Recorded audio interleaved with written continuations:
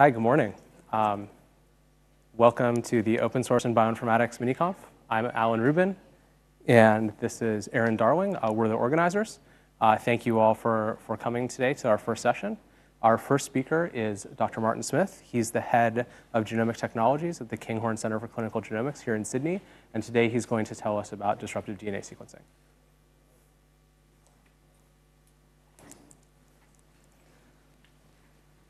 Good morning, everybody. Um, can I get a quick show of hands if you're a bioinformatician? Good. All right. So, um, I guess given that I'm opening this bioinformatics mini workshop, I'll give a quick overview of what bioinformatics is. Uh, James will talk about this, the next speaker will talk about this in more depth, but in essence, bioinformatics is just an umbrella term for anything that involves biological data and, and software to analyze it. So there's a whole bunch of, of disciplines of bioinformatics, and they kind of all interlap with biology, maths, physics, um, software engineering. Um, but uh, probably one of the most popular branches of bioinformatics at the moment, uh, or one of the most diverse and, and wide, widespread, is, is definitely genomics. Um, now, genomics is the study of the human genome, or other genomes, not just the human genome, any genome really. And it kind of overlaps into other um, areas as well of biology. But in case you don't know what the human genome is, you've probably heard the term flying around. It's, it's the, the sum total of all DNA in one of your cells. Um, so, you know, body's made of tissues, and each tissue is made of cells, and within the cell you have a nucleus of the cell that contains all this genetic material um, 46 chromosomes, one from each of your parents. And these 46 chromosomes contain the genetic blueprint or the code of life, what makes you you. To give you a sense of how big the human genome is, there's a really cool TED talk on how to read the human genome and build a human being. If you haven't seen it, I invite you to, to, to watch it at some point. It's really cool. What they've done is printed the human genome out on these massive books um, in, I think, size 8 font. And there's 260 something odd books that make up the human genome. That's over 262,000 pages. And each page kind of looks like this. Now, what's interesting is only about two pages of that actually have known functional um, bits of DNA. The rest we kind of don't know really what it's doing, but we suspect um, they have regulatory roles in making cells different. I'll get back to that in a minute. This amount of information is phenomenal. So if you took all the DNA in your body, you'd roughly have enough to go from the sun to Neptune six times if you stitched it all together and pulled it out. That's what, 24 uh, billion kilometers of DNA in your body. Now, how, how do the cells keep track of all this information? How, how does that much genetic material stay in the nucleus of a tiny cell. Uh, the DNA is, is wrapped up in these molecules called histones, and the histones get spindled together and then form these compact tar balls, if you will, or, or, or, or compressed um, formats of, of genetic material that make up the whole chromosome. So there's a whole bunch of information in there, and genomics is trying to make sense of all this information, usually through really high throughput methodologies. If you look at anybody in this room, um, you're going to share 99.9%, 99.95 actually, of, of the same genetic material. So even though we might look completely different, we're all really similar to each other. What's, what I find really fascinating is if you compare any two cells in the human body, even though they're completely different, have highly specialized functions, they still share the same DNA code what makes them different is how genes are turned on and off. Um, and genes, only, as I mentioned earlier, genes only make up about 1.5% of the human genome. So the rest of it is largely unknown what they do. We, we do know that there are some biochemical, there's some biochemical evidence for activity, largely through the conversion of DNA to RNA. But I won't touch on that too much today. Essentially, there's a large chunk of our genome that we don't really know how to um, interpret yet. So this is the evolution of DNA sequencers. So genomics is highly predicated on uh, the power to sequence DNA and to read the individual letters of DNA and, and stick them together and make sense of all that information. So 30 years ago, uh, we had these really large, bulky machines, and they cost a fortune to run. Uh, but they ultimately led to the first draft of the human genome sequence. I think it cost billions of dollars and took about 11 years to complete. Um, you'll notice every decade or so, there's a pretty substantial leap forward in the, the, the technology and the capacity of it to output of genetic information. In fact, just a few years ago, there's uh, this, this new format of sequencer, this new technology that comes out that fits in your pocket. It's really tiny, um, and you'd think that something this small wouldn't be that powerful, but in fact, this thing can sequence your, your whole genome in, in less than two days. Now, to put that in contrast, um, there's probably a lot of um, people that know about the evolution of computers here and Moore's law. If you look at the evolution of computers to get the same kind of scale of technological advancement, you, we're not talking uh, a decade, but rather one or two decades, or even three sometimes, to get down to that, that level of refinement in, um, in technology. So genomics is really, uh, or G DNA sequencing is really advancing at, at uh, breakneck pace. This is a, um, a, classic diagram in genomics where uh, in red you have Moore's law for computers, which basically says that the number of transistors doubles every couple of years. Or I, I don't know what the exact formulation of it is. But in blue you have the equivalent for DNA sequencing. And you can see that it's, it's no longer linear, but rather um, almost kind of quadratic. You get these big in the, um, these big, massive advancements in the technology To give you another scale of grandeur, uh, this is a screenshot taken um, from the biggest database of DNA, public database of DNA sequences uh, at NCBI, um, which is run by the US government, and it's actually not supported for the past few days because they've shut it down.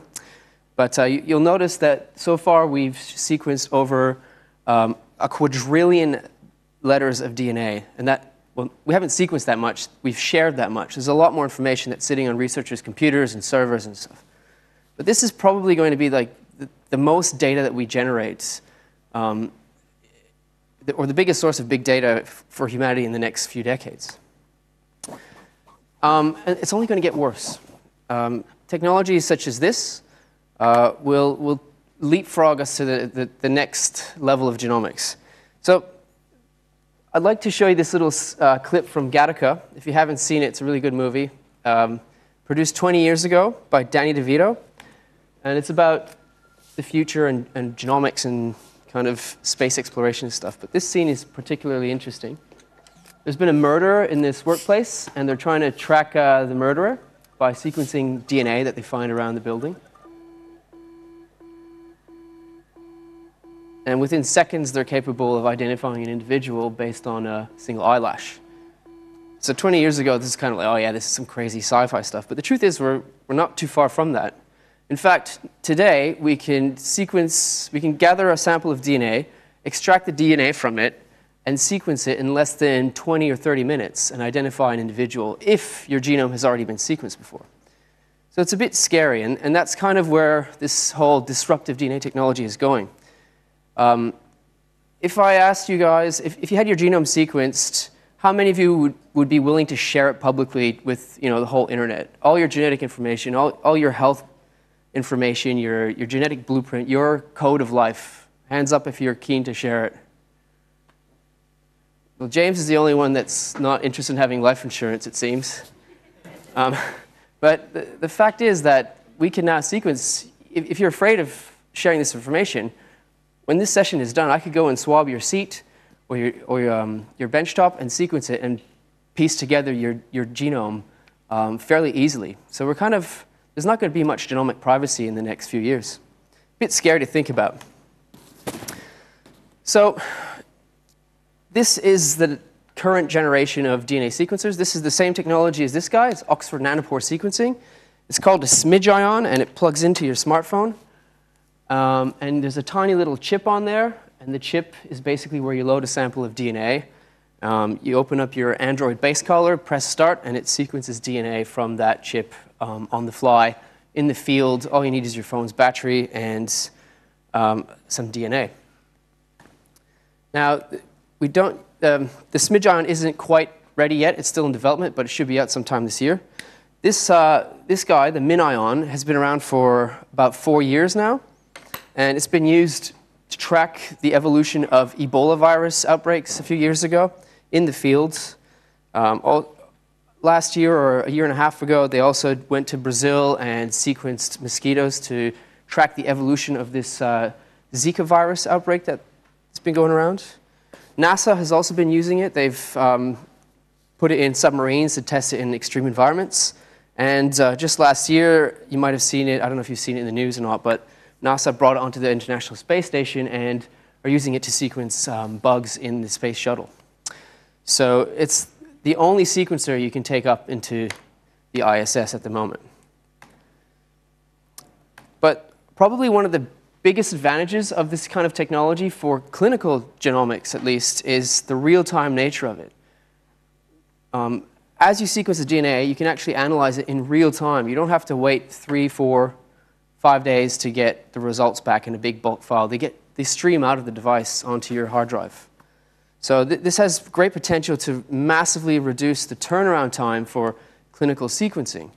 Right now, it takes several weeks to get a whole genome sequence back um, from a, a, service provider. Um, in the next few years, it should be available within a couple of days.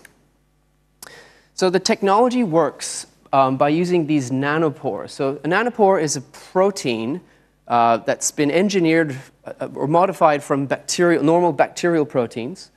And it's just a nanopore. It's a small pore that goes in a membrane. And DNA gets tethered through it when you apply an electrical current across the membrane. So DNA is negatively charged, which means you apply a positive um, current on the other end, and it'll go through. As it goes through, there's a tiny sensor that can measure disruptions in electronic current.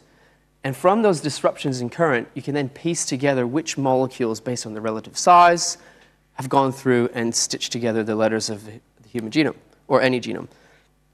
This is what the data looks like. Um, the y-axis is picoamps, and the x-axis is time. So the black bits are when the pores open and there's high current. And as soon as a bit of DNA goes in, the current drops and squiggles around, and that's what gets interpreted by the computer afterwards. So if you zoom into the current, here you can see uh, the different colors represent individual DNA bases uh, or letters in that raw signal. So this opens up great opportunities for machine learning and, um, and deep learning. And the process of converting that raw signal into ATCs and Gs is called base calling. Now, initially, they use fairly uh, simple statistical models to do this called hidden Markov models. And the accuracy has gone up and up over time just with more refined computational tools, such as um, neural networks. Sadly, the software, the initial software to do this base calling was all proprietary, owned by the company that manufactures the devices. But of course, um, the, the company is, keen to get the, the community to develop tools for them and, and make things better through open source software. And there have since been a plethora of other tools that have come out. So here highlighted in orange are the uh, proprietary um, code. This is the proprietary codes. And all the other ones are open source um, tools that have been used to, to base call. And you might notice that some of the open source tools do a mighty good job. In fact, one of these was uh, developed here in Queensland called Chiron, which used an alternative neural network to the one that the manufacturers developed. And uh, it, it, performed quite well. In fact, so well that eventually, oh, it's all open source, by the way. Eventually, the manufacturers announced, well, look at this, we're using a new kind of neural network. And they basically took the open source code and enhanced their own code with it, which yielded a significant improvement in the accuracy of uh, the identification of the letters from the raw data. Now, um, just to give you an idea of some other advantages of this technology, it's fundamentally different uh, to the other sequencers that we have because it doesn't use biochemical information to uh, infer what the DNA sequence is. It uses physical information, so it just observes the molecules. It also allows us to get ultra long bits of DNA. All the classical sequencers that, that, are, that have been out previously tend to give us about 100 to 300 uh, bits of DNA in a row. so highly fragmented bits of the genome. And that can be really challenging for certain applications because the human genome is really not sloppy, but very repetitive. So there's about 50% of it that's made up of repetitive regions that are present in thousands of copies. So you can imagine if you have a small bit of DNA that goes into one of these repetitive regions, it's going to go everywhere. You, don't, you won't know which region it came from. Now, if you have very long reads, you can basically span across those regions and you can stitch together the segments of a chromosome much more accurately.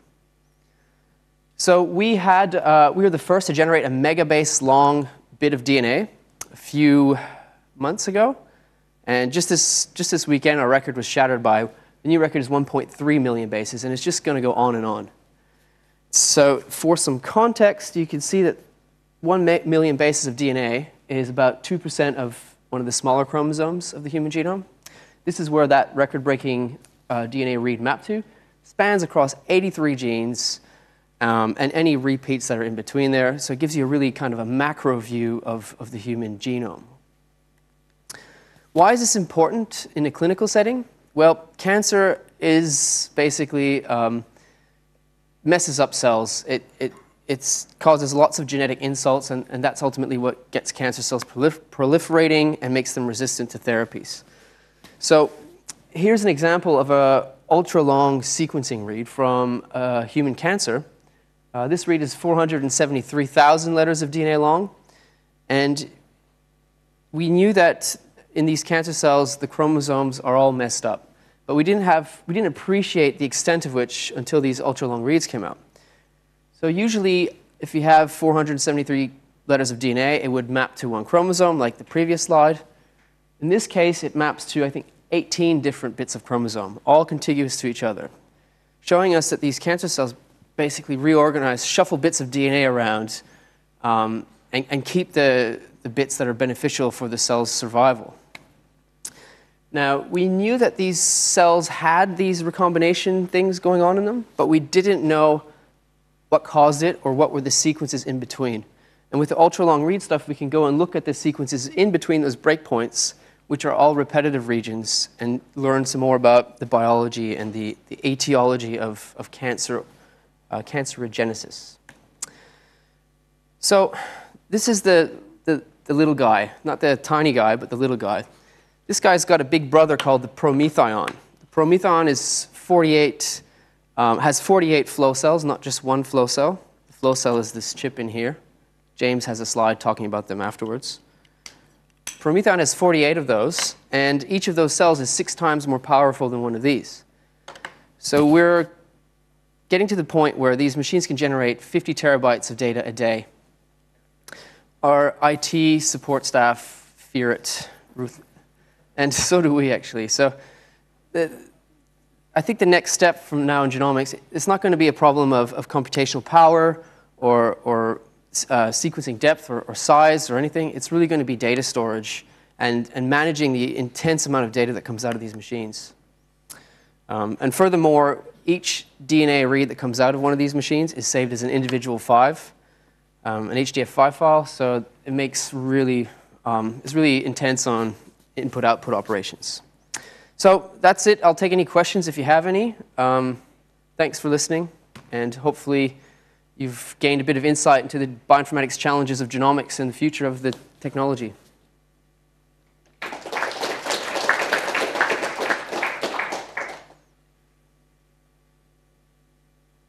So any questions for, yeah? Just an incidental question. When you're measuring picoamps, I find that amazing You have to drag it out of the noise, do you?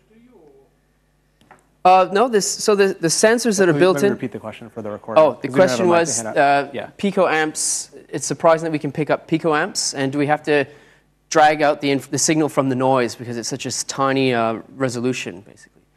Um, so one of the fundamental aspects of this technology is it incorporates the world's smallest um, amp meter. So it's, it's, it's, highly accurate, and they can probably go into even more um, discriminatory ranges there. They can zoom in probably more, but the, the amount of disruption you get isn't that much. Um, I didn't mention it, but you can even pick up tiny molecular changes.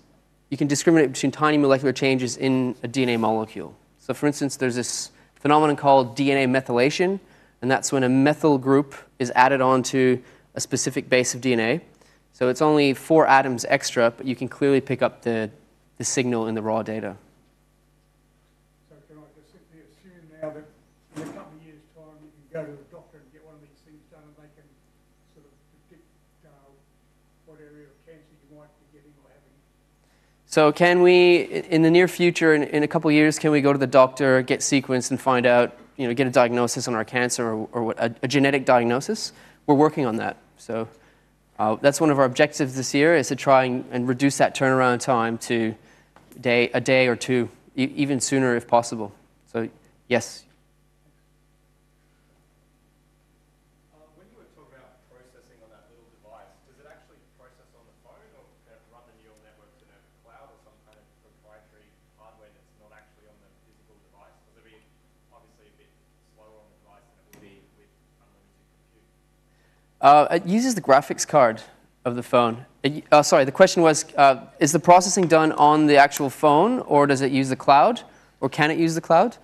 Uh, it's meant to run on the device itself. So, right now, this guy runs on your laptop. The base calling gets done on your laptop. You can use, either use the CPU or the GPU.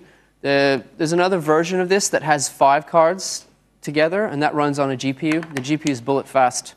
So you, you don't need that much compute power to do these base calling um, operations. It can be run on the GPU of your smartphone. Just wanted to ask, um, you mentioned that probably one of the problems you're facing is system data. And not just, um, storing the data, but also managing that data. Um, as someone that's facing a similar problem, I just wanted to ask you, like, do you have any, like, how are you handling that at the moment? As in, as in, um, um, do you think that there is a viable solution to that at the moment? For me, I still see there's a problem that's really unsolved, and one would be just facing now that we're moving into such, e- especially as we take into research, there's a lot more research projects now for ideas that are just popping up into real world systems, um, and I think that for me, that's the biggest issue I found, is just the overwhelming complexity of the data model itself. So is uh, all the data generated by this a problem? And um, I, I don't know how to summarize that. It, it- managing all this data, uh, what are we doing to manage the, the insane amount of data? It's not even big data anymore. It's just ridiculous amount of data. um, well, I think once we get to like a production, at least for this technology, once we get to more of a production level, we're going to have to dispose of some of the data. Either uh, keep just a, a fragment of the data, for instance, lose the raw data and just keep the base call data. Um, but of course, you know that comes at a cutoff. You can't go back and re-explore. But you know, it, it all boils down to hard drives and, and storage. Can it costs money to keep to, to keep this information? And compression algorithms, as they stand, are still kind of not really the, the ideal for keeping the raw data yet. So it's definitely going to be a problem. I'm all for a moon base that has just covered full hard drives. Okay, I think we'll take one more quick question um, from the back.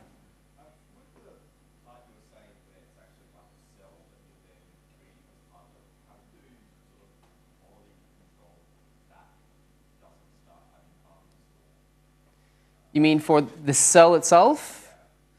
Well, I mean, our cells have lots of bugs in them. That's ultimately what you know causes diseases and, and, and the like, I guess. Um, I think what you're referring to is probably like the manipulation of the DNA itself, the molecules, and can there be bugs or you know errors in that? Definitely. Um, and it's a well-known problem, and, and it's a problem that's been studied for years because we're not just starting to do this kind of you know sample preparation stuff. It's been done for decades already. So there's well-known biases in those steps that we can kind of account for. But anything that's in the actual biological data, then you, you, need to use statistics to discriminate between is it an artifact or is it actually biological signal. Great. Well, let's thank Martin for a good talk. Thanks.